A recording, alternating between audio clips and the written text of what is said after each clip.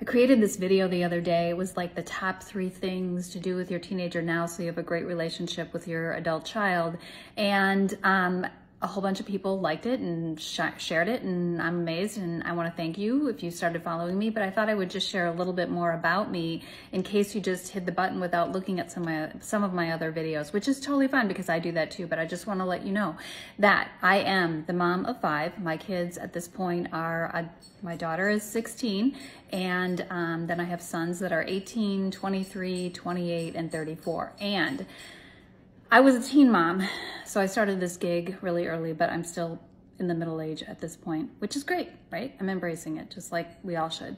And um, I'm also a writer, so I published a book this summer called Becoming Me While Raising You, A Mother's Journey to Herself.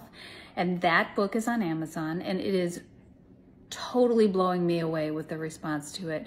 Um, it is about the six limiting beliefs I took on in childhood that played out over and over again in my marriage and in my parenting for many years until I started doing the work on myself that I now take other women through. So I'm a writer, I'm a mom of five, I'm also a certified conscious parenting coach, and I'm also a mother of a dog who keeps making noise in the background. Anyway, um, a conscious parenting coach. So I've been working with parents 99% of the time with mothers since 2016 on creating happier, healthier relationships with our kids by looking within themselves. It's amazing how we can let our junk project onto our kids and create these relationships that by the time they're teenagers really, really can smack us in the face. So our children are our greatest teachers. I truly believe that. I have learned so much from my kids over the years and I have a lot of wisdom to impart. So I plan on seeing videos from me. I'm going to use story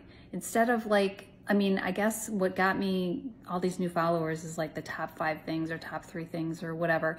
And I appreciate that. But I think that people connect better through stories. So for the most part, the videos that I'm going to share with you are going to be stories either from my own personal parenting experience, things that have worked, things that haven't worked, things I've learned over three plus decades, or also um, people that I have worked with obviously not going to compromise confidentiality, but other stories because I think it's really key. And I think we can learn so much from each other, especially through stories. So that's pretty much what you're going to see here. Anyway, I'm super excited you're here. Thanks for following.